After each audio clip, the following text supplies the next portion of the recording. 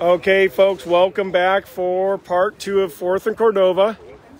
Here we go. Dog team coming way down there, so it gives folks a chance to get online again.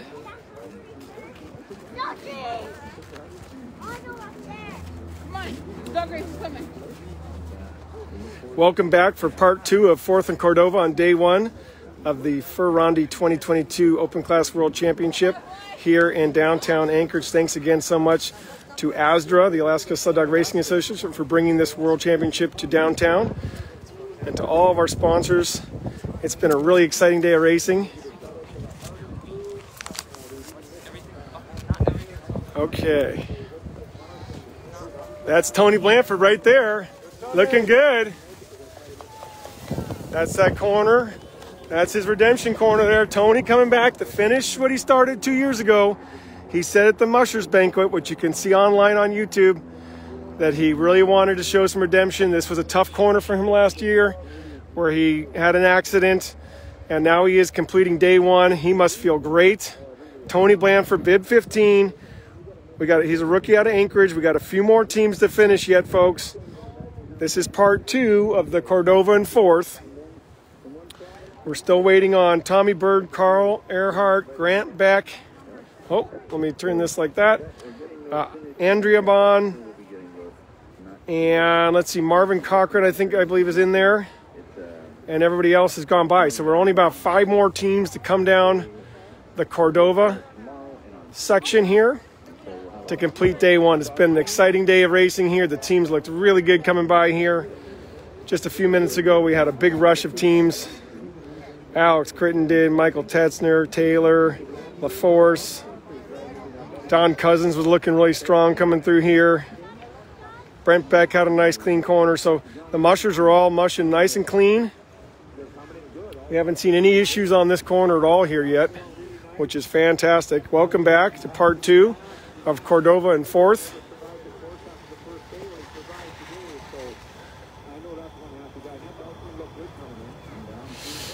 And uh,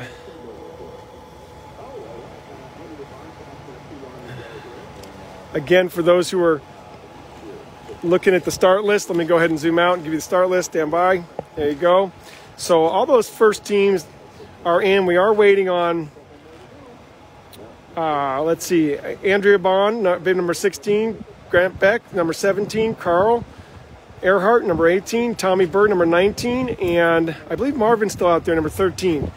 Um, so this is, uh, it says Eddie on there because I photocopied his uh, announcing sheet this morning. You can download timesheets on the ASDRA, ASDRA.org site.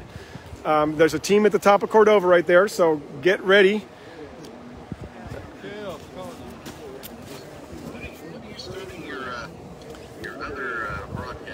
Okay, so the second part of Cordova and Fourth is live right now. There's 117 people watching on the Fur Rondy page. We have a team way down Cordova right now, so you still have time to jump on the Facebook page, Fur Rondy, and tune in.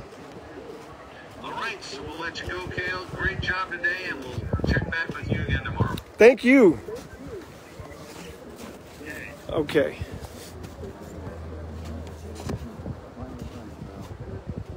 And here we go. Let's see if this is Marvin.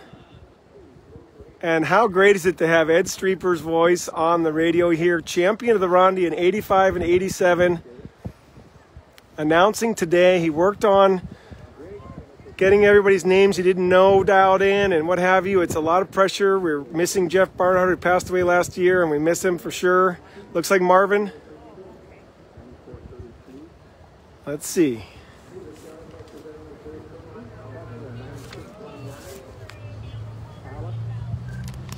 Wow, those lead dogs are charging, looking great. Yeah. All right, that's Andrea Bond right here. Let's watch her corner.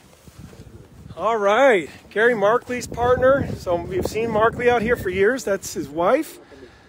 Bib number 16. Look at that, looks great. Andrea and Alix Crittenden are only female mushers in the group. And Wendy, we have three female mushers. So Wendy Callis, Alix Crittenden, and Andrea. Really proud. We'd like to see a female champion again. It was so nice when Roxy Wright a few years ago made history and came back out of retirement and won this race. The support and help of Arleigh Reynolds and a bunch of great handlers. So there's Andrea out of Salcha. She did want to thank everybody at the banquet for all the support that Gary and she received during the year. They self fund their operation, uh, but she said that the emotional support's a big deal. So hug a musher, support a musher, adopt a dog, get active with your dogs. Learn how to skijor and canicross with a dog who's right there in the house with you. Such a great relationship.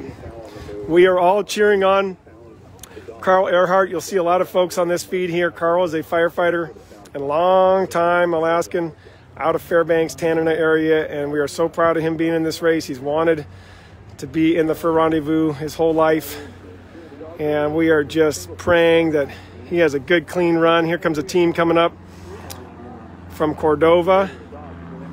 Again, all your support online is appreciated. The mushers come to this feed and look at all the comments and look at all the people cheering, and it lifts their spirits and helps them get through uh, all the stress of getting all their dogs here and keeping it all together and having a good outcome. So lots of anticipation on the trail. You always have to be alert.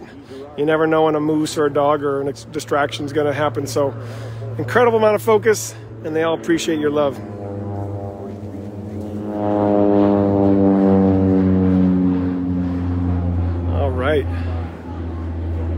Dog team looks like it's moving moving well. On that, is that a second team behind or is that just one team? Let's change our angle. Okay, just one. Or no, that is. Let's see.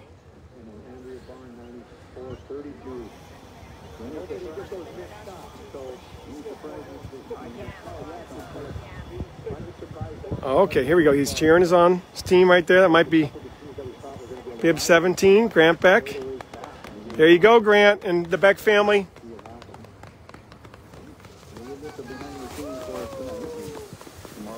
Beautiful looking dogs. On the home stretch of day one for rookie year for Grant Beck out of Yellowknife, Canada. Those dogs are charging home. That must feel good to Grant. Have a good, happy, strong team. Looking forward to the finish line. Three more teams. All right, that's what we're hearing. Three more teams to come down. Three more teams.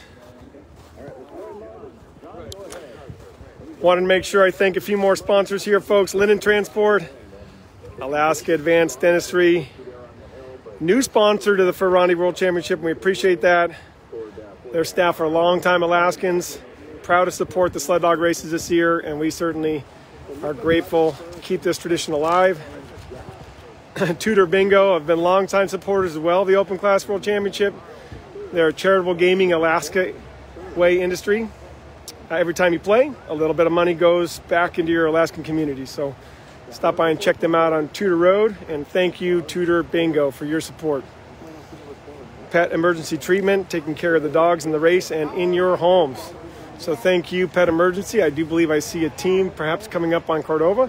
That'd be one of the last three teams out on the trail right now. Uh, Coca-Cola of Alaska, enjoy a nice refreshing Coke while watching the races. I could use a Coke Zero right now. Uh, longtime sponsor of the Open World Championship Sled Dog Races. Thank you, Coca-Cola of Alaska. We'll turn it around now. And we've just got a few more teams. And then we'll be back with you tomorrow for the pre-race coverage.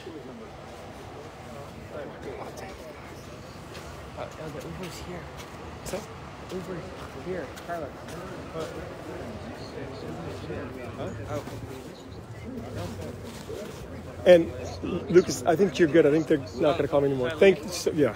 So I want to thank Lucas. He was holding that phone so CBS Sports could could call in and check on our checkpoint. Thank you. It's stressful. It is. I see. So he had to watch for teams and listen for the uh, hey fourth in Cordova. What's the update? So thank you. It takes a whole village. And we're just waiting on a few more teams, folks.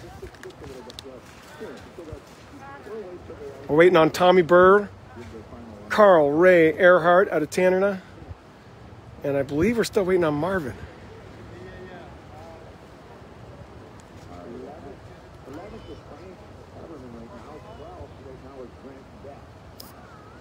Okay, uh, Grant Beck, I just heard his name on the radio, so that must mean he hit that line there on the finish. Congratulations again. And there you go, some of our great audience members posting the times for today.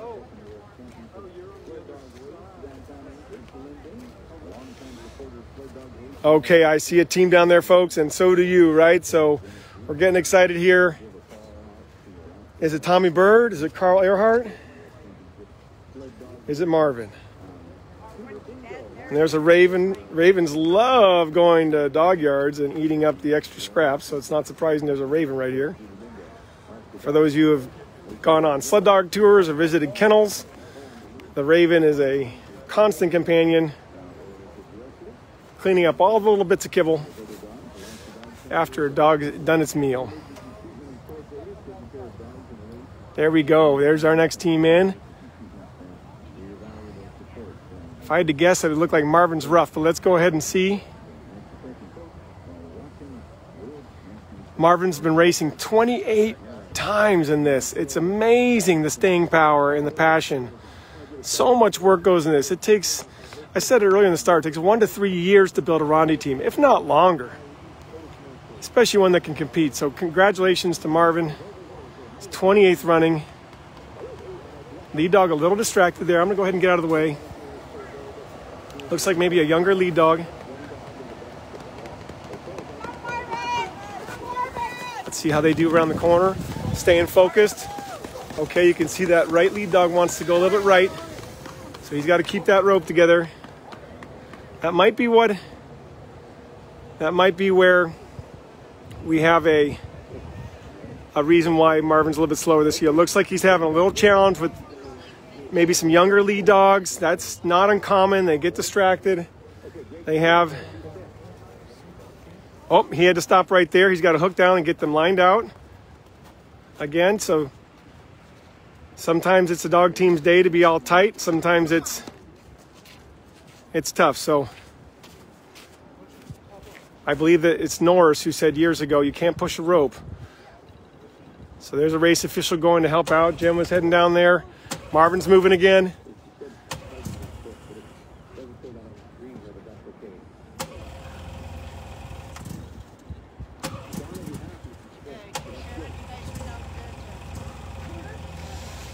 All right, Marvin looks like he is going to be able to go ahead and get down that line. Again, you could see it if you go back and replay that bit of video, especially him coming down Cordova. You got a little bit of that kind of wandering dog look. I'm gonna go ahead and give my buddy a hug. There's Carlos, who came to Alaska and mush for his first time. We'll, we'll be watching tomorrow, and then we'll be watching from Rosati's on Sunday. Yeah. See you, buddy. Okay, be careful. Okay, love you, man. Lucas, love you too, man. Lucas was our radio catcher and a new musher right here, and a birthday boy. Happy birthday. Tune in tomorrow. Love you guys. All right, so we got two more teams coming, folks, and we'll hold the feed for them. We're not going anywhere. Just uh, folks have to go on with life. So my good friends, uh, Carlos and his son Lucas, are now heading to Anchorage to fly back home. They came up for a week of mushing and to see day one of the Rondy. So they uh, now have firsthand experience as to the magic of being here in this city. Okay, so here's He's got a la- line drag, you know. Oh, so he broke a tug line on on his uh, four set back on the left dog. He's got a tug line dragging, so that means he had to tie in another rope right there. Okay. Well, that must have been that dog that got loose and got away from him. So he'll just be glad he got that thing back because if you don't bring them all back with you, you get disqualified. So he'll give up that little bit of time, but just be happy that he's not out of the race. So Eddie Streeper was just explaining on the radio here, folks, that it looks like Marvin Cochran had lost uh, one of the lines on his sled and had to fix it. Right now, Jen Sterling is wondering what's going on down on Cordova. Trying to keep everything in order here, right? These are our officials who are dedicated until until every team gets home, right? So here we go. Let's zoom in. Yeah, so we just had our last final uh, team come through. That was Tom Bird. And they were looking pretty strong. The crowd is just kind of starting to disperse now. Okay, so we're waiting on Carl Earhart and Tommy Bird right now. And then nobody You can hear the radio. this is a lot of fun. And so fun to see all the volunteers again that I've met throughout the years. It's like a family reunion. This is the uh, this is the way to do it, folks. You sorry, you. I'm trying to show you the radio here. You get your radio and you tune it into 590 AM, or stream it in Anchorage, and that's how you get your checkpoint times. Sounds good, Mike. Thank you. There are contributors all around the track that report. I'm one of those from here. We call in to Mike and Ed Streeper, and then they go ahead and put it on the air for you. And that's how this race has been operated for a bunch of years in the 1940s and 50s. All the villages in Alaska and around the Yukon and Canada and everywhere tuned into the radio, listening to the Fur Rendezvous.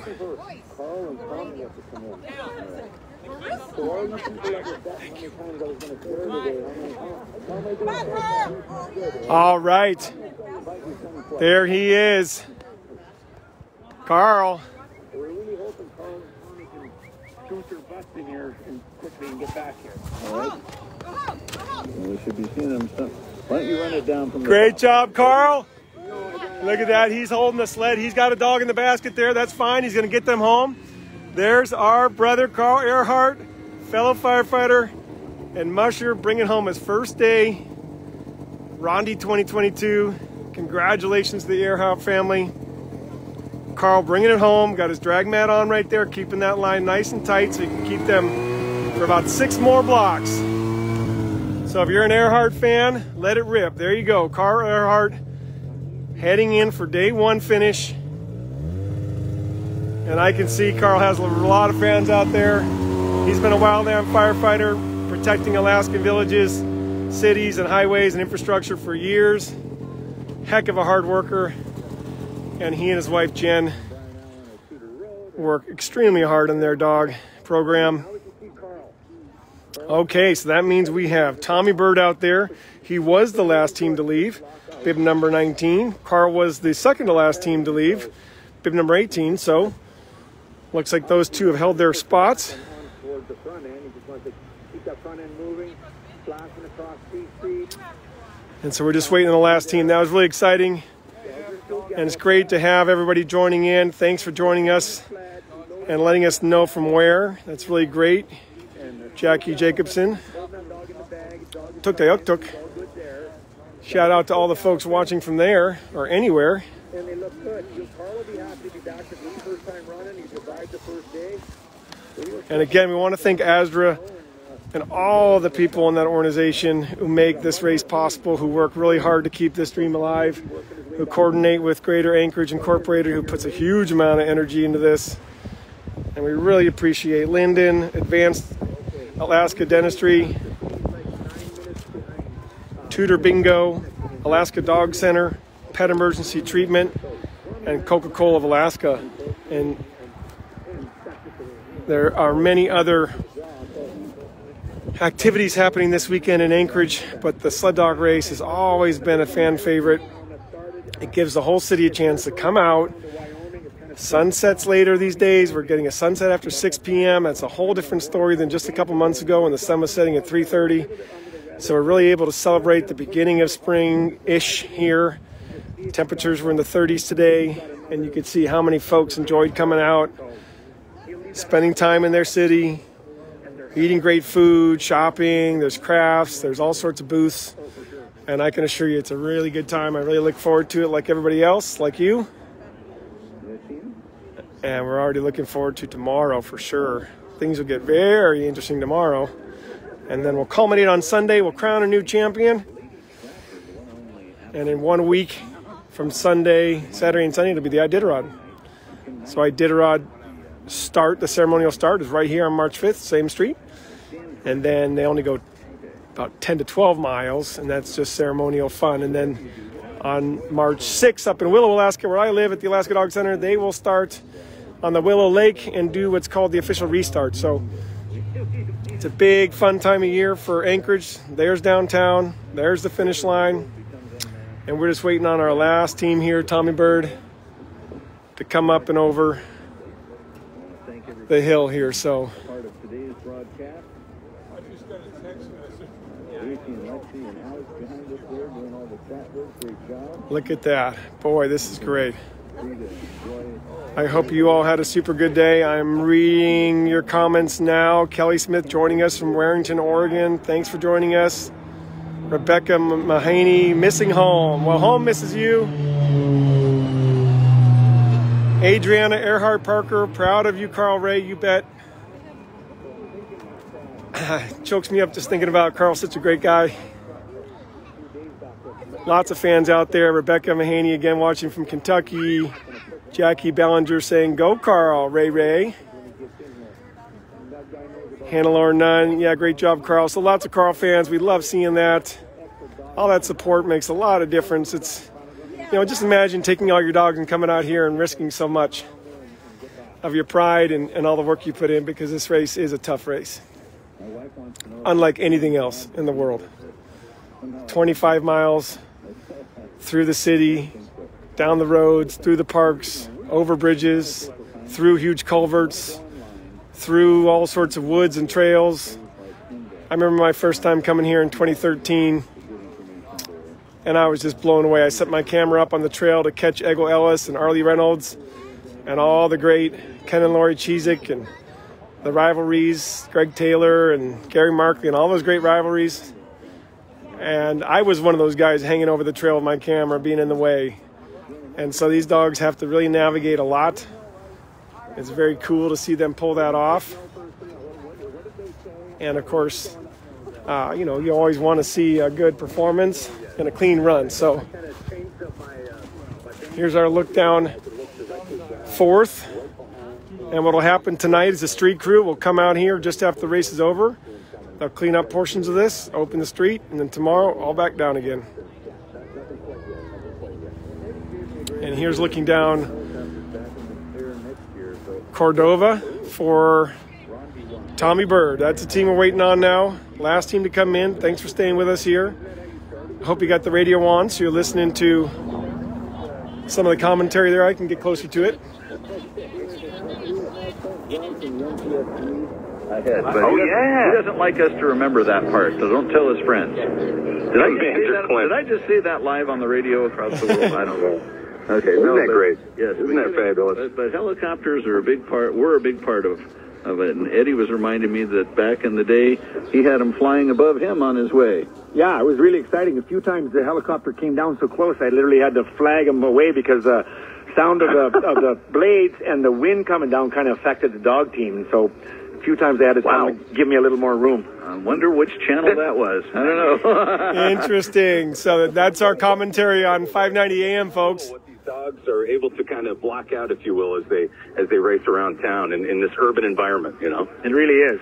They're very focused. And I think a lot of that has to do with who's driving them too, doesn't it, Eddie? Well, it does. And okay, you know, wait now one like more team. Are we going to see a team up there? 300 feet above them. You know what I mean? Uh, Any radio so intel? A little bit leery, that kind of stuff. Yeah. So while we're waiting, John, okay. good crowd out there today at the hill, huh? Yeah, it's not bad, and, and like uh, like Lindsay said, you know, as, as okay, folks, it might be a while for uh, for Tommy Bird, so we're gonna go ahead and, and wrap it up here. I'll head down and uh, visit with some of the mushers right now, and we'll be joining you tomorrow uh, I like to do the pre-race right around 11:15 for about 20 minutes.